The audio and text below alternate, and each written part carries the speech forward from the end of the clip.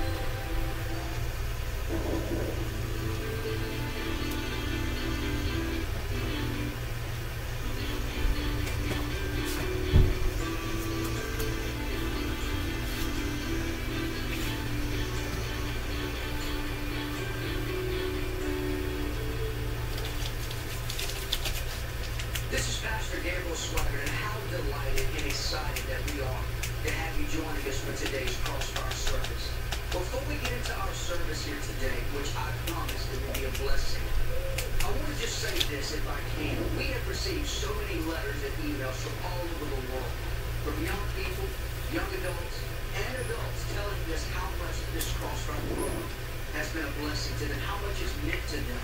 And I, it's, it's amazing to hear the testimonies from young people telling us that we're understanding the message of Jesus Christ and Him crucified greater than what we've ever known before. They're seeing victory in their lives like they've never known before, and we thank the Lord for that. So before we get into our message today, we want to take you into Family Worship Center. One of our past services to hear praise and worship and anointed by the Holy Spirit. That's going to be a blessing. And then we're going to take you right into the Crossfire service. So don't move a muscle. Today's program is going to be a blessing.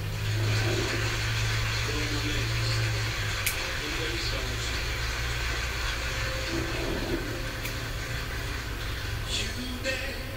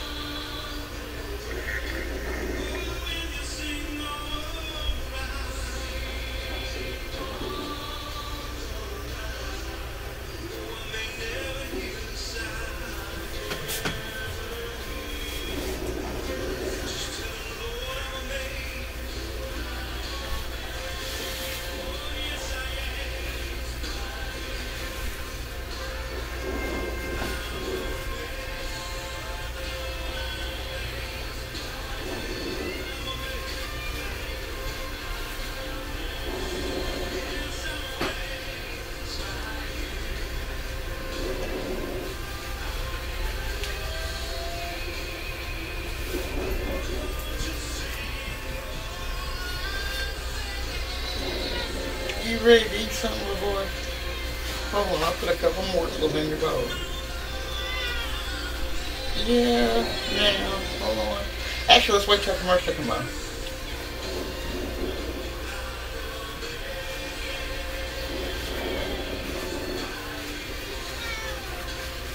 Now, we're not gonna be demanding now.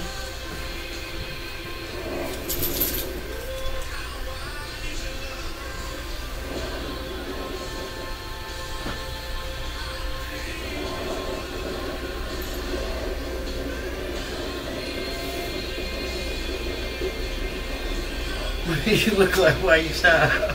You good with that.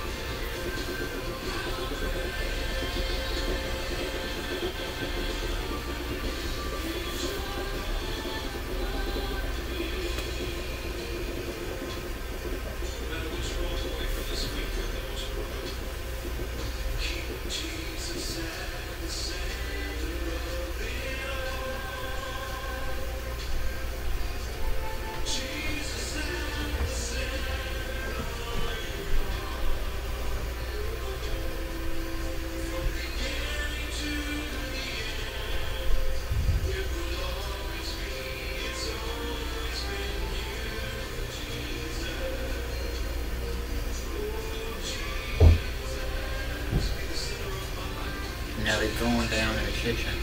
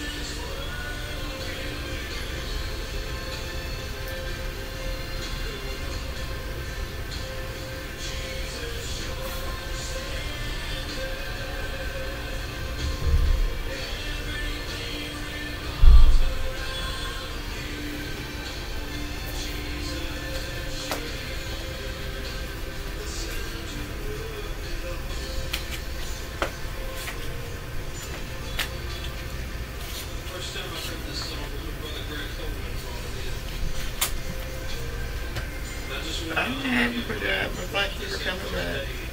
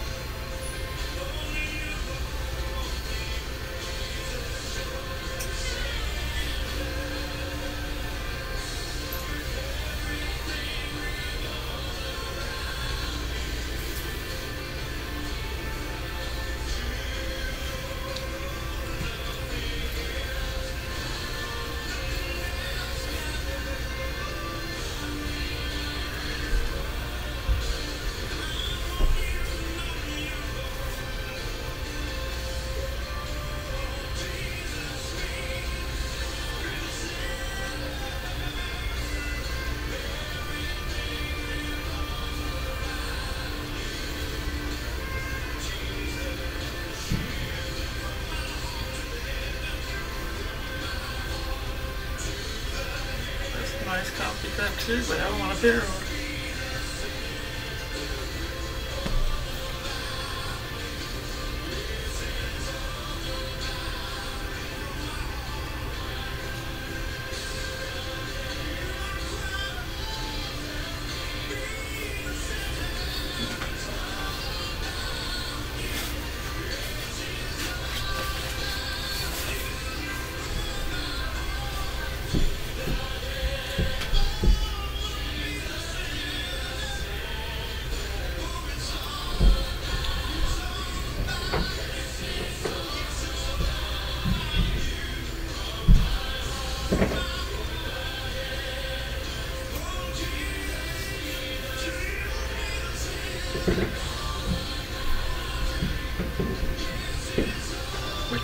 Is the evil one.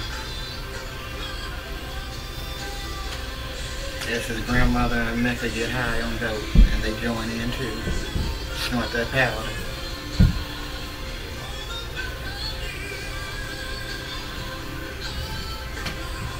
And she do more than one thing. And he join in too.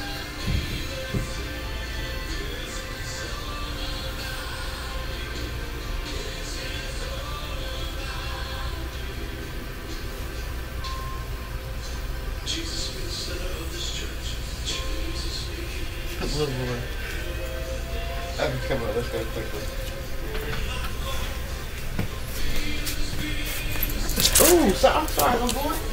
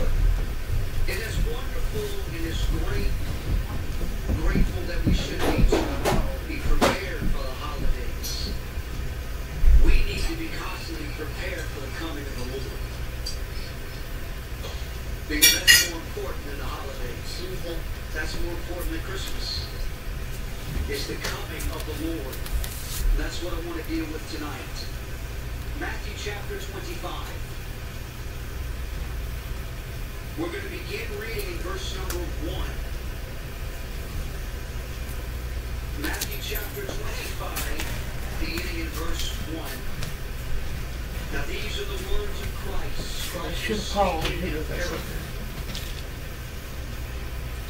He says this, then shall the kingdom of heaven be likened unto ten virgins which took their lamps and went forth to meet the bridegroom. And five of them were wise and five were foolish.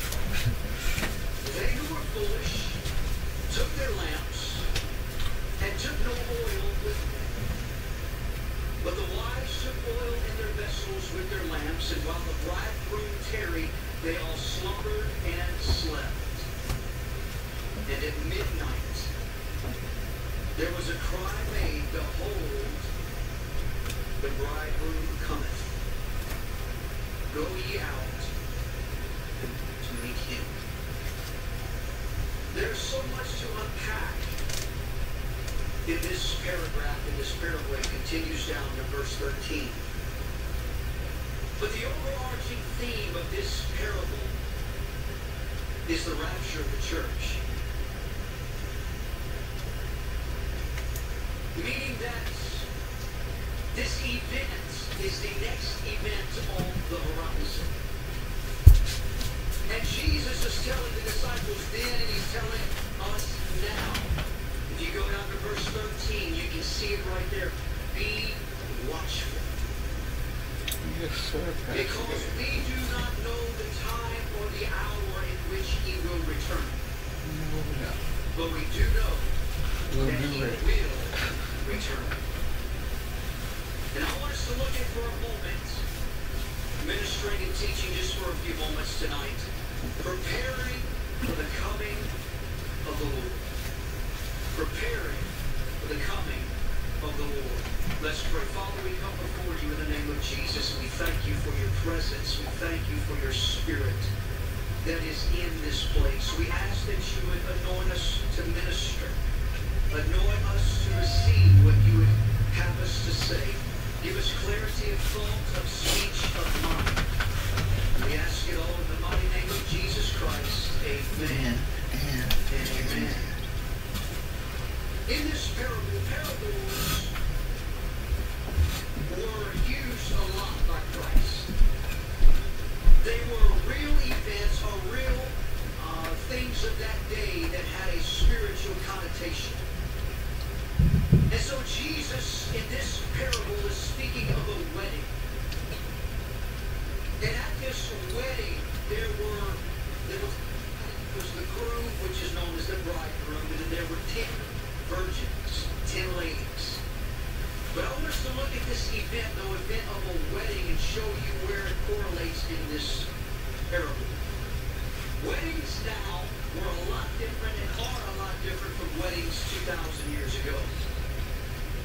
When you go to a wedding right now, it lasts maybe a few hours, two hours, three hours, four hours. If you're Catholic, it lasts about nine.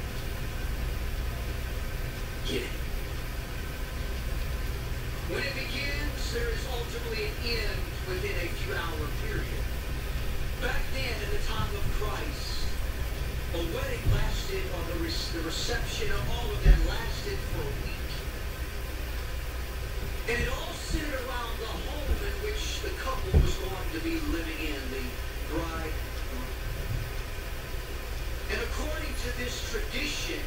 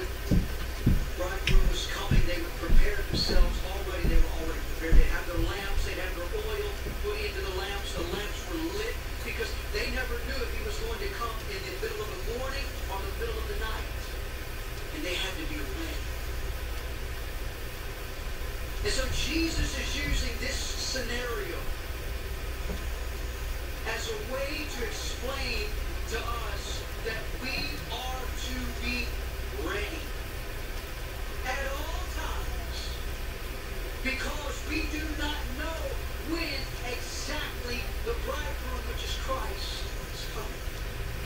The ten ladies, the ten virgins, represent the church, the body of Christ, not the Pentecostal denomination only, but all who have said yes to Jesus Christ, regardless of affiliation. But then Jesus does something that is strange. He separates the virgins or the ladies into two groups. And he declares that five were wise, five foolish. So where does that correlate with us today? Well, as I mentioned, those ladies represent the body of Christ. And yet Jesus proclaims within the body of Christ there are two groups. There are those that are ready and those that are not. Now he is, he's not talking about unbelievers here. He's talking about believers, Christians, followers of Jesus Christ, disciples of Jesus Christ, who have named the name of Jesus, and yet he is saying half of them are wise and half are foolish. Could it be the same today? He would say. Could it be that half of the body of Christ is ready? Could it be that half of the body of Christ now is not?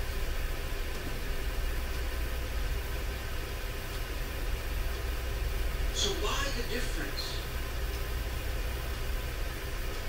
Why the separation?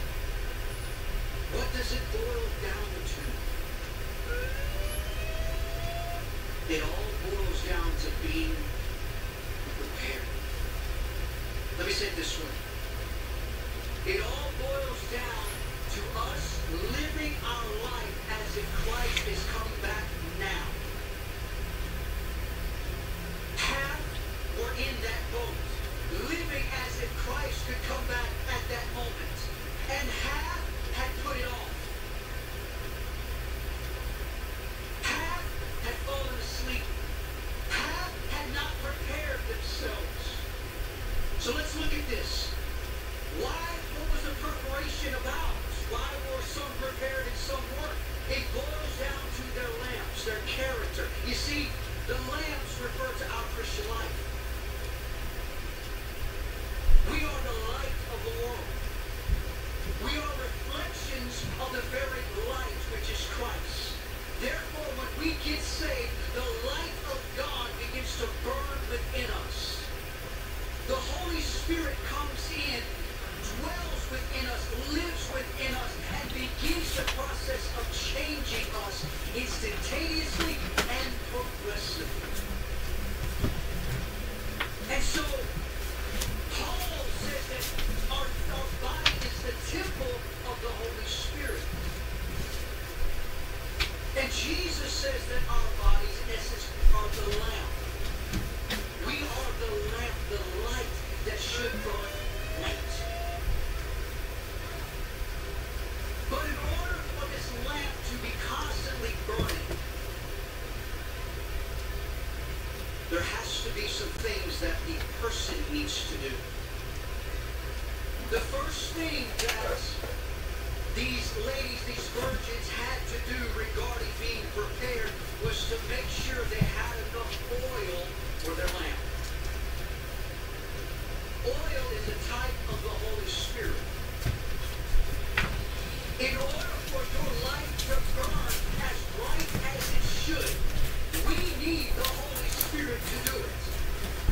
cannot.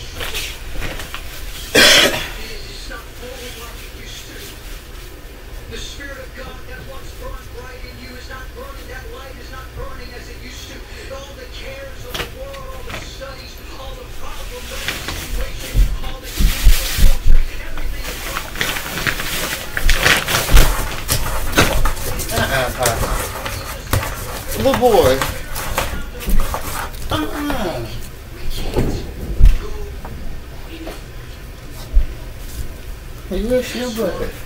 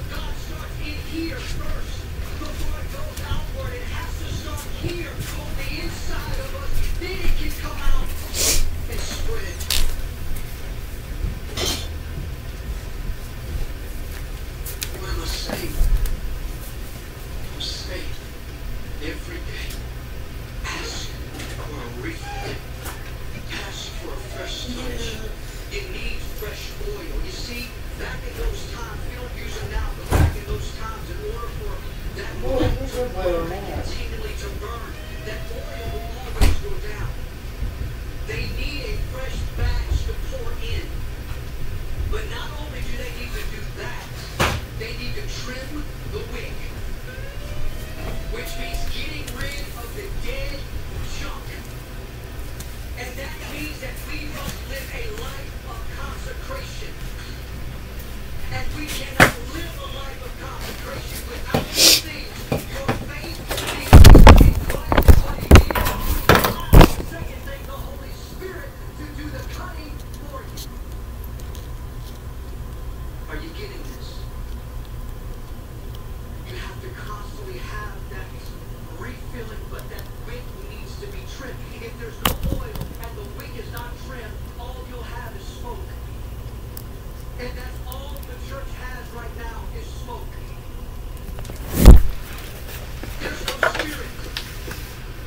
That was 220. That was a Memphis Sun, two leaving out.